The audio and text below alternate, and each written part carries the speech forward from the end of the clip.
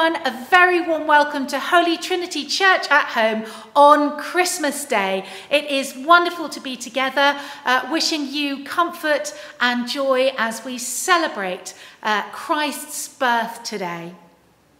I bring you good news of great joy. A Saviour has been born to you.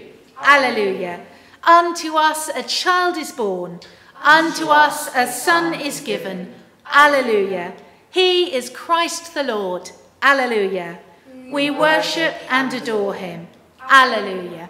So we are now going to light the central candle on our Advent wreath, which reminds us of Jesus, the light of the world. Caitlin, will you come and light that for us, please? Wonderful. Thank you. So we say together, Lord Jesus Christ, your birth at Bethlehem draws us to kneel in wonder at heaven touching earth. Accept our heartfelt praise as we worship you, our Saviour and our eternal God. Amen. So we're now going to join together to sing that wonderful hymn, Joy to the World, the Lord is come.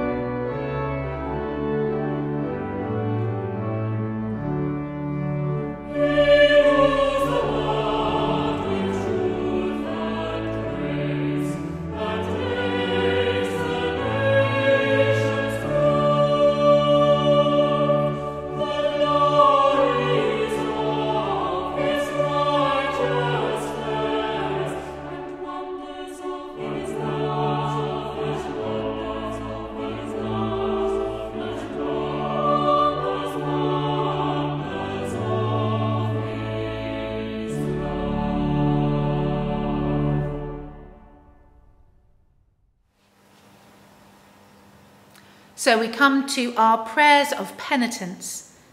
The Virgin will conceive and give birth to a son, and they will call him Emmanuel, which means God with us.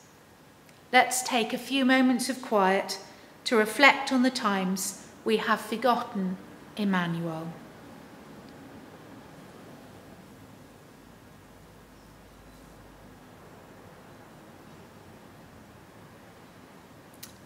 Lord God, when we reject people because we see only faults, we miss Emmanuel. Lord, forgive us and heal us. Lord God, when we condemn, belittle, and look down on those we see as failing, we miss Emmanuel. Lord, forgive us and heal us. Lord God, when we fail to enter the desperation of another, we cannot empathize and compassion dies within us. We miss Emmanuel. Lord, forgive us and heal us. May the God of love bring us back to himself, forgive us our sins, and assure us of his eternal love in Jesus Christ our Lord. Amen. We're now going to have our first reading. The birth of Jesus Christ. This is how the birth of Jesus Christ came about. His mother Mary was pledged to be married to Joseph, but before they came together, she was found to be with a child through the Holy Spirit. Because Joseph, her husband, was a righteous man and did not want to expose her to public disgrace, he had in mind to divorce her quietly. But after he had considered this, an angel of the Lord appeared to him in a dream and said, Joseph, son of David, do not be afraid to take Mary home as your wife, because what is conceived in her is from the Holy Spirit. She will give birth to a son, and you are to give him the name Jesus, because he will save his people from their sins. All this took place to, fulfill what the Lord had said through the prophet. The virgin will be with child and will give birth to a son, and they will call him Emmanuel, which means God with us.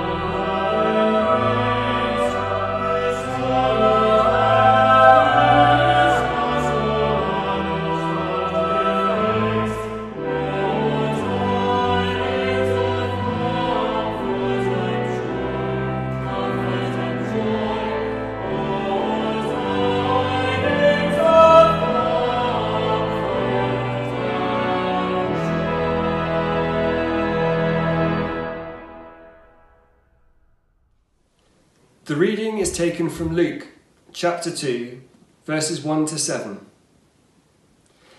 And it came to pass in those days that there went out a decree from Caesar Augustus that all the world should be taxed. And this taxing was first made when Cyrenius was governor of Syria.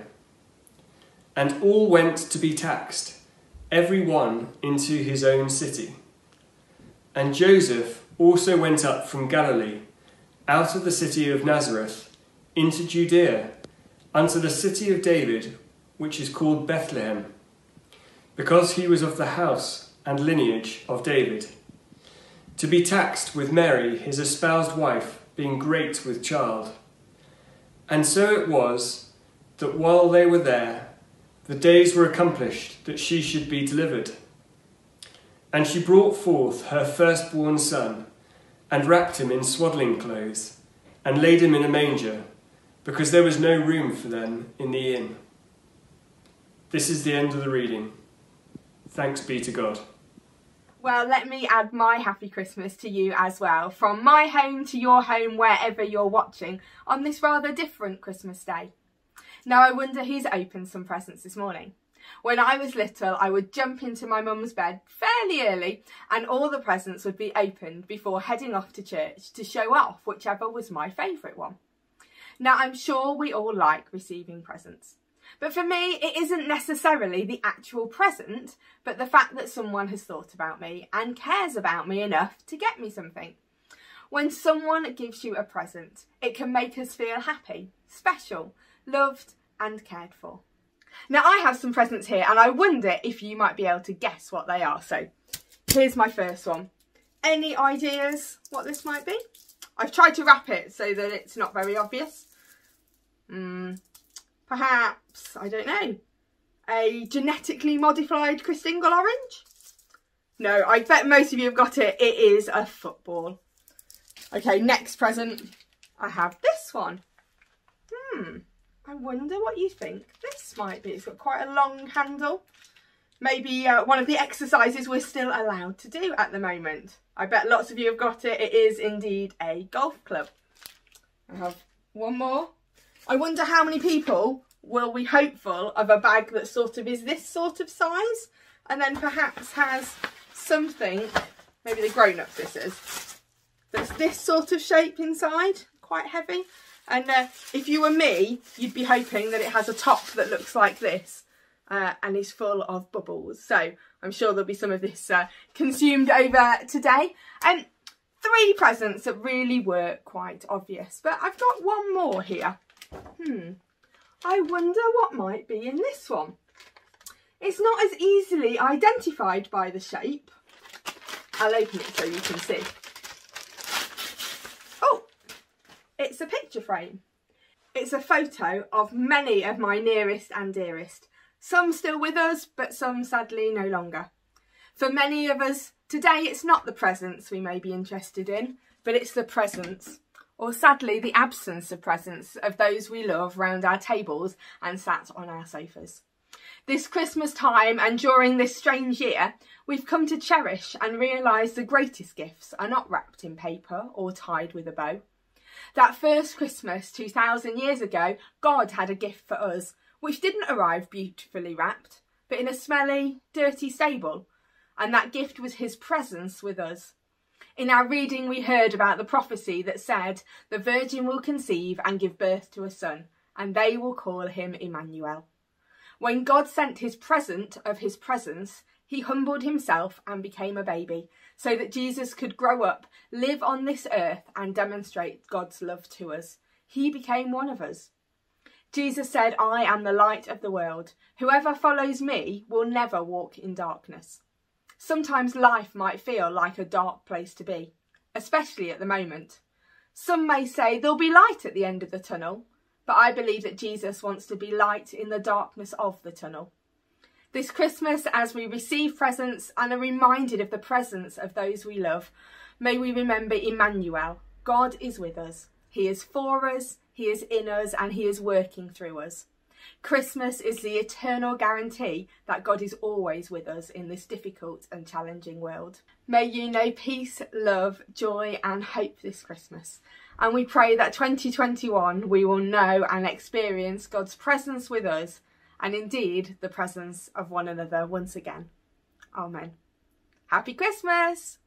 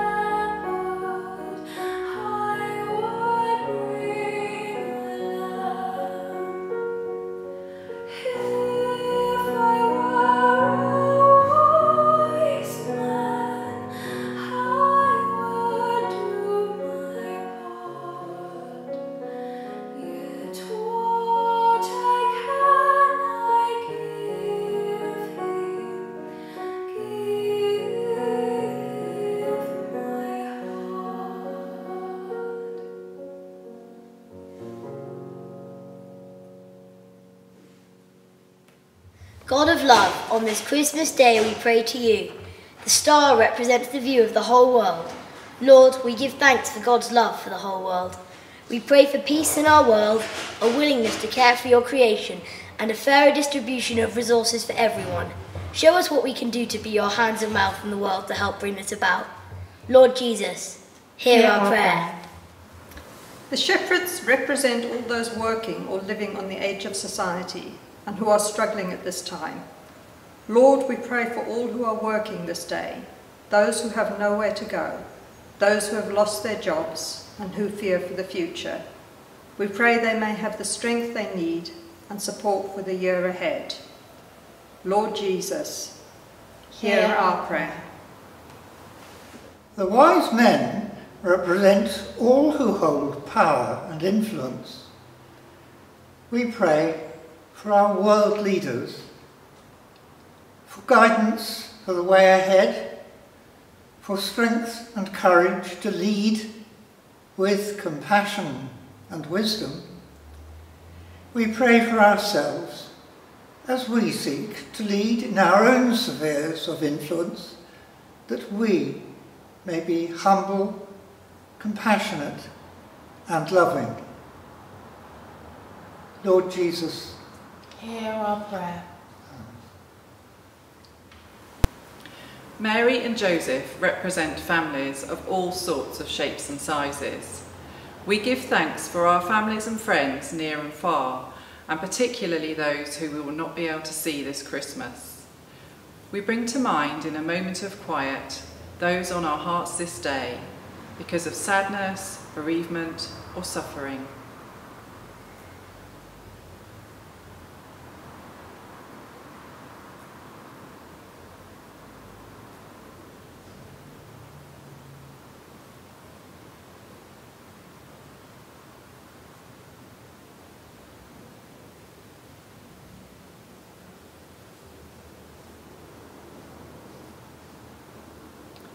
May you bring them your healing and comfort.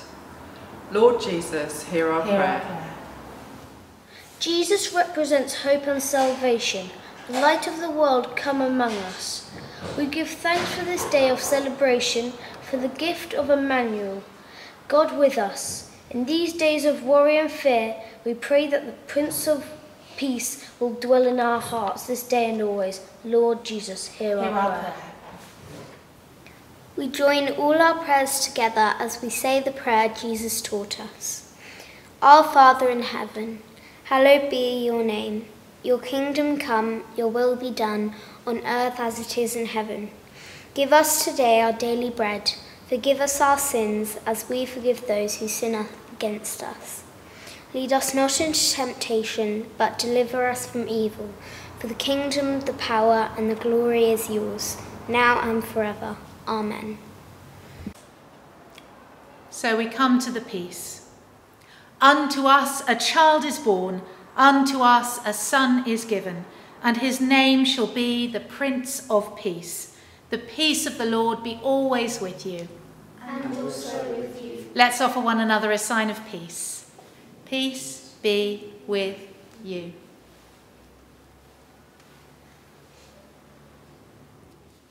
So as we come to the end of our service, a few things to say. Uh, firstly, uh, notes about services for the next few weeks are in our pew sheet. I'll be taking a post-Christmas break um, and we'll be back on the 5th of January.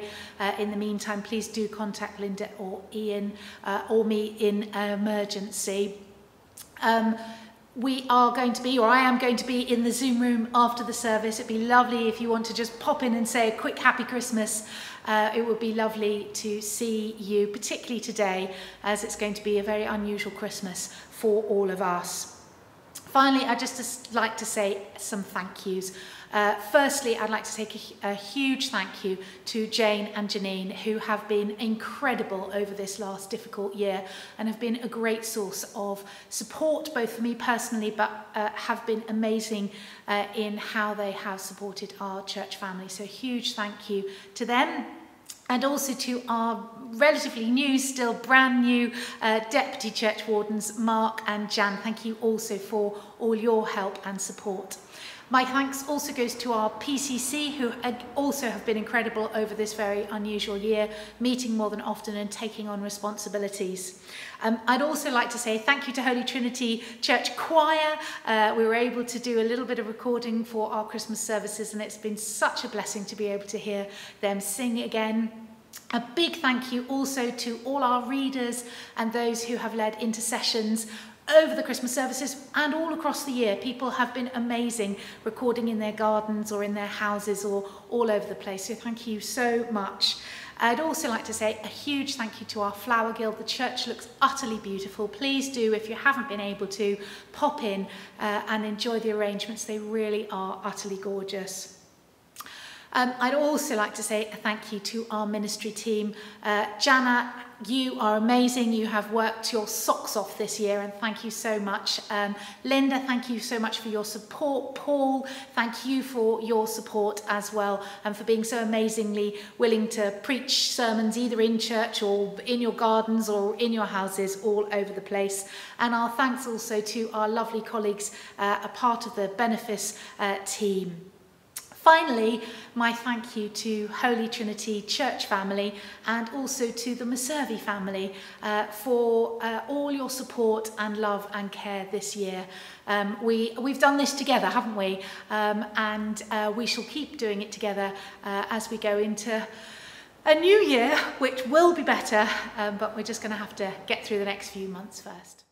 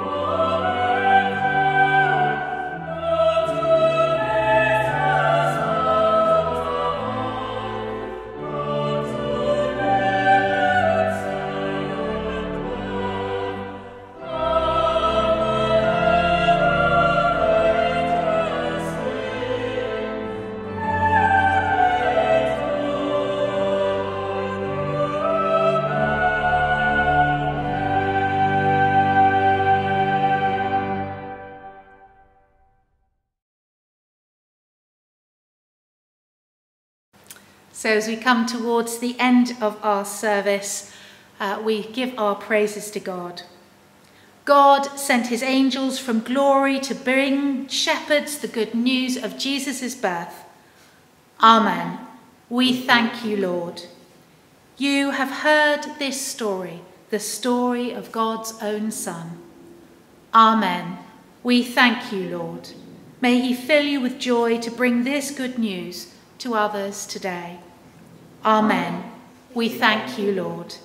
May the joy of the angels, the eagerness of the shepherds, the perseverance of the wise men, the love of Mary and Joseph, and the peace of the Christ child be yours this Christmas and always. And the blessing of God Almighty, the Father, the Son, and the Holy Spirit be upon you and those whom you love and for whom you pray, now and always. Amen. Amen. We end our service today uh, with a wonderful uh, rendition of the 12 days of Christmas led by our wonderful choir. Wishing you comfort and joy this Christmas. God bless you.